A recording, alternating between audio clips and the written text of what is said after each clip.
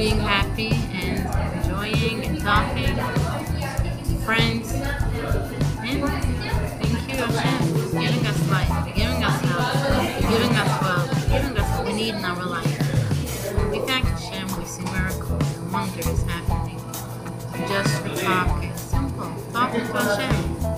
When we talk to Hashem, we're able to create good and to do good and to be good. When persons talk to Hashem,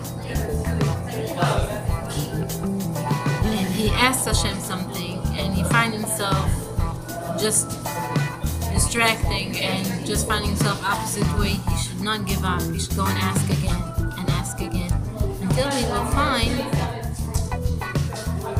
Hashem will give him a lot of Yeshuas. But you should never give up on your prayers. Never. Wherever you are in your life.